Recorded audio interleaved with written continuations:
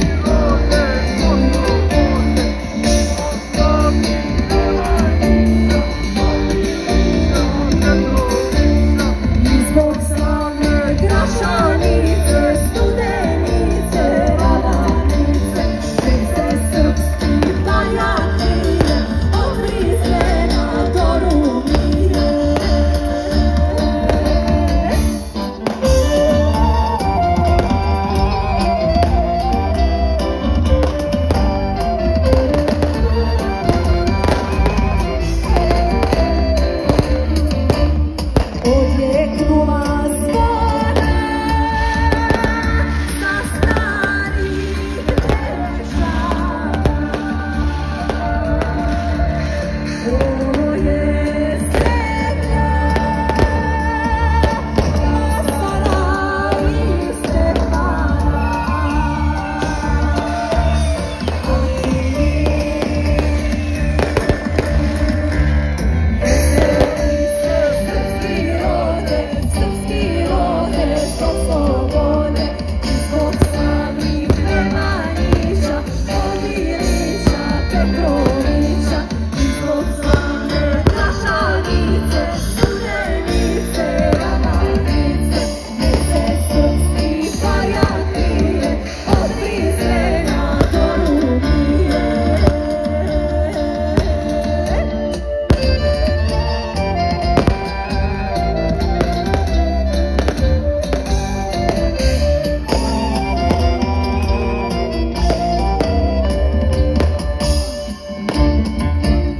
Oh, a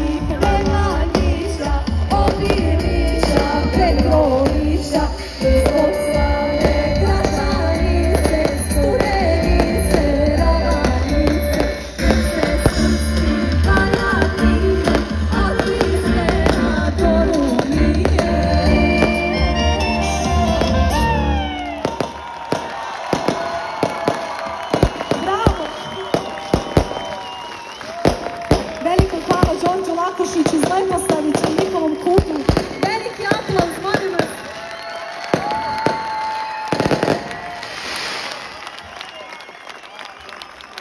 Večera su za vas svirali na klavijaturu.